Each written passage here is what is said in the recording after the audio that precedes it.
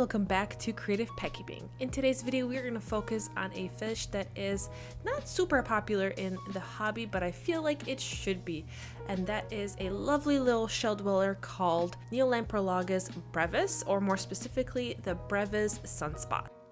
I keep mine in a 20 gallon tall, which at the moment is a species only tank for the purposes of breeding. So my setup will be a little different than what you would do at your normal home aquarium, but these fish can be kept with other more peaceful Tanganyikan fish. And overall, they get along with other fish fairly well they tend to stay on the bottom and like to breed in their little shells.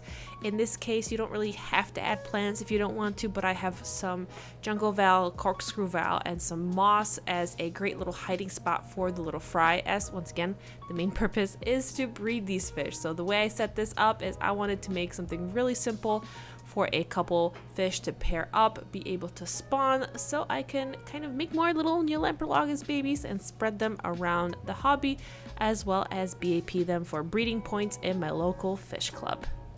If you would like to keep them long term, I recommend a 40 gallon breeder in terms of tank size. That will give them more space, but also give you a little bit more flexibility to add uh, some other fish to the tank as well. In terms of how they look, they're very interesting. So in the back, you can see another pair that are showing little breeding stripes. So they will be able to turn these breeding stripes on and off and they also have a beautiful lovely golden tummy. And if you look under their eyes they have this beautiful purple pink sheen under their eyes which doesn't always get captured by a camera. And it usually only really shows up when you are up close to your tank. So it's not something you'll see from far away but from a distance you'll be able to observe it. So they are ever changing fish who are quite lovely to look at. And on top of that they have a little squishy face little bulldog squishy face, so they look surprised all the time when they look at you, always surprised. If you are interested in breeding them or just being able to observe their natural behavior, I recommend getting some shells for them. These are larger shells that I picked up at one of the GCCA swap meets. These are events that are put on by my local fish club, which is kind of like the farmer's market but of fish stuff and fish supplies and other fish. Now, they have to be large enough for both the male and the female to fit inside because they will both go into the shell.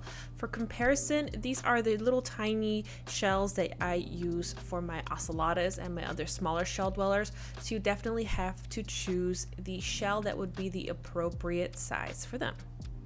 When it comes to telling the different genders apart in these fish, it's actually not too difficult, which is always nice. It's never a fun time when you're staring at your fish and trying to figure out, are you boy?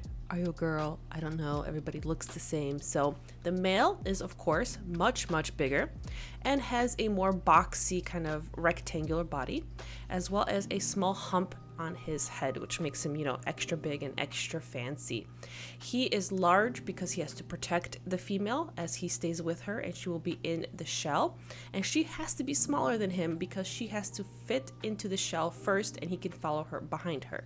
Her body is a lot more streamlined. She does not have the hump. She's much smaller and usually the yellow will be much more pronounced on her body. So this way you'll be able to tell the pair behind. You can see the female and the big male on the bottom and as well as with the pair in the front, you see the big male and the female. Feeding these fish is pretty easy because they are omnivores. They would in the wild feed on a lot of plankton, but they like frozen bloodworms, brine shrimp, and protein cichlid pellets that are small, and they do need just a little bit of vegetable matter in their diets as well. Overall, these fish are really lovely and filled with personalities. Their squishy faces are hilarious, their expressions are hilarious, and if you have not tried them and would like to try shell dwellers, I really recommend these fish, especially if you want to try a larger shell dweller because these are much bigger than the multies I've shown you in the past, as well as the gold ocellatas. They're big, they're nice, but they're not super mean, which I really, really like, and they don't try to murder you when you stick your hand in the tank like with the ocellatus. So that's also a bonus. So I hope that you enjoyed this short little species spotlight. Hopefully I got you interested in these adorable, adorable fish. If you think they are cute and would like to keep them or know other fish keepers that might be interested, be sure to share this video with them so that way they know they exist and maybe we'll get them and maybe they'll be more popular in the hobby. That would be really, really cool. So thank you for watching this video. I really appreciate your time and I'll see you in the next video.